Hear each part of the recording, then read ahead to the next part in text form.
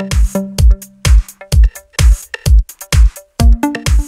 I have AllView X3 Soul Lite and let me show you how to accomplish the hard reset operation on this device by using the AllView settings. At the very beginning let me start by using a home screen. Let me find and select the settings. Let's scroll down to the bottom of the list and choose advanced settings. Then scroll down again and under personal tab you should find backup and reset, let's tap it. Then select factory data reset, read the information about the process and choose confirm restore. Are you sure that you would like to erase all personal data, customized settings, downloaded apps? If yes, let's tap OK. And now the device is performing the hard reset operation, the phone is erasing all personal stuff. The whole operation should take a while, so let's just be patient and wait until everything will be completed.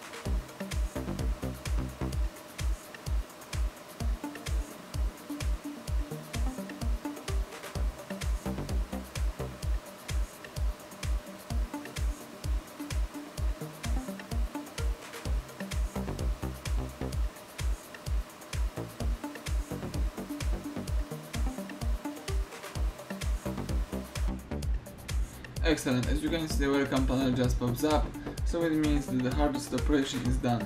Now you can start easily activate your device. Thank you for watching, please subscribe our channel and leave thumbs up under the video.